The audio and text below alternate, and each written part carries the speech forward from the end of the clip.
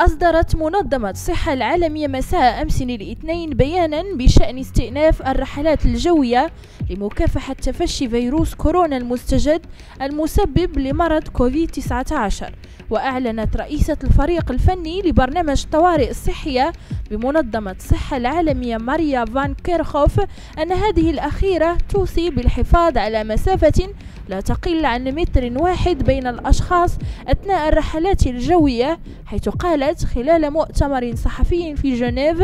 توصياتنا هي الحفاظ على المسافة بين الأشخاص أثناء الرحلات الجوية بطول متر أو أكثر. لقد أجرينا مؤخرا تقييما منهجيا للإنفلونزا وفيروس كورونا وكوفيد 19 وحددنا مسافة واقية تبلغ مترا واحدا أو أكثر لذا فهذا مهم جدا. يذكر أن منظمة الصحة العالمية صنفت يوم الحادي عشر مارس المنصرم فيروس كورونا المستجد المسبب لمرض كوفيد 19 جائحة وهو ما تحقق فعلا حيث تجاوز عدد المصابين به جميع التوقعات.